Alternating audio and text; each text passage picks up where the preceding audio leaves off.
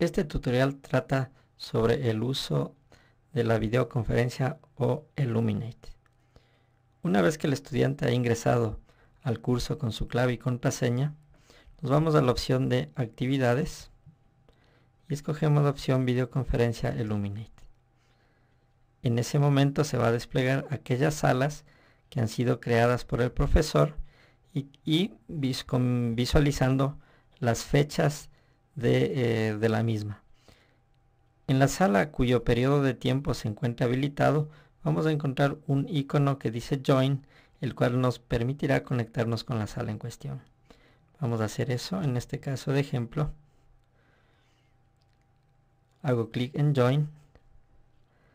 Ese momento se abre la aplicación de Blackboard Collaborate, que es la empresa que maneja eh, la solución Illuminate.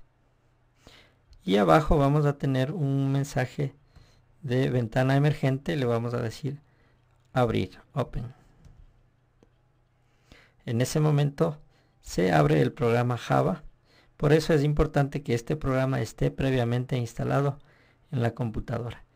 También se recomienda tener desbloqueado eh, la opción de ventanas emergentes o pop-ups. Luego aparece una ventana que nos va a preguntar sobre el, tipo de velocidad con la cual nos vamos a conectar. Hace una validación con el hosting. En caso de solicitar información sobre el tipo de, velocidad, es conveniente coger la opción de cable DSL. Muy bien, una vez que nos hemos logueado, hemos ingresado exitosamente a la sala. Nuestro nombre va a aparecer en el panel de la izquierda. Abajo puedo usar las opciones de chat y también podría hacer uso del micrófono o transmitir uh, video a través de la cámara web. En la parte central eh, hacia la derecha se encuentra la pizarra, la cual mostrará la pizarra eh, definida por el profesor. Eh, si queremos utilizar los audífonos y el micrófono, primeramente debemos hacer la prueba de funcionamiento.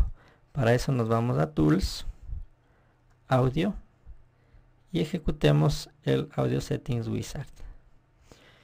Este tiene algunos pasos y empieza a ejecutar el asistente de instalación. Es importante terminar todo este asistente para verificar que tanto los audífonos como el micrófono están funcionando correctamente.